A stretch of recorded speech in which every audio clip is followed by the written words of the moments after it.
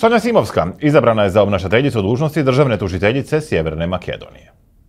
Aktualnom državnom tužitelju Ljubomiru Joveskom mandat istječe za tri dana, a Simovska, obnašateljica dužnosti, može biti najduže šest mjeseci.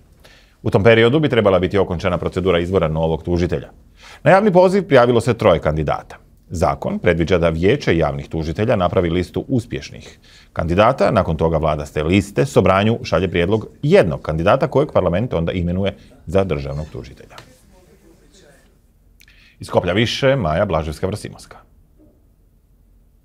Избор новог јавног тужиоца касни јер е собрање оглас за попуну ове позиција објавило 29 новембра, месец пре истека мандата актуелном тужиоцу.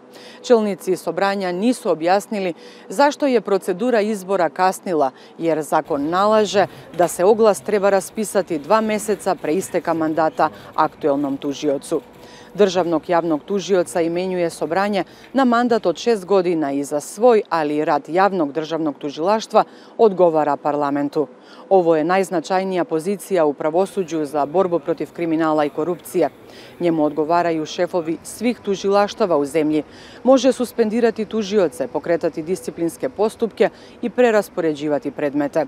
Zakon kaže kako novi tužilac može biti osoba koja radi najmanje 10 godina kao javni tužilac ili sudija u oblasti kaznenog prava. Троје пријавлених кандидата имају искуство. Фатиме Фетај, тужителјка е од 2011 година, била е меѓу најпрепознатливиим у јавном специјалном тужилаштву.